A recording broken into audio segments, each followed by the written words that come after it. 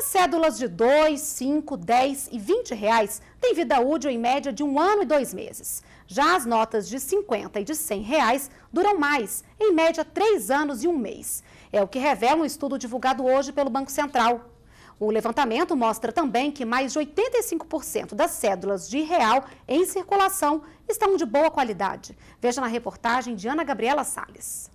Notas rasgadas, sujas, rabiscadas, nas ruas é fácil encontrar quem já pegou uma sim. Mas é rabiscado mesmo, o pessoal escreve o texto todinho no dinheiro, pintado, rasgado. A maior dificuldade está nas notas manchadas, né? Porque saiu um lote aí de notas manchadas, então assim gera uma preocupação do consumidor. O pessoal também faz conta no dinheiro, tem muito assim. É mais assim, porque também por causa do suor, das mãos, dos contatos, né? No Brasil, 15% das cédulas estão danificadas e já deveriam ter sido substituídas. Quanto menor o valor, mais desgastadas. Segundo pesquisa do Banco Central, as notas de 2, 5, 10 e 20 duram em média um ano e dois meses, enquanto as de 50 e de 100 têm vida útil de até três anos e um mês. E cabe ao comerciante ou ao cidadão comum levar a nota a uma agência bancária para trocar quando perceber algum problema. Os bancos são obrigados a recolher uh, cédulas danificadas, cédulas que não estejam próprias para a circulação.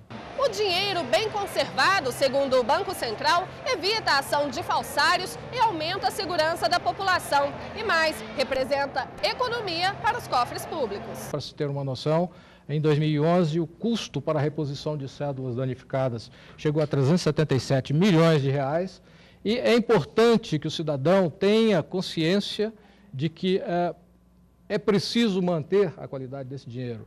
É importante que se use, por exemplo, uma carteira para se, se colocar essas cédulas. É importante não dobrar essas cédulas. É importante não riscar, não grampear, não rasgar.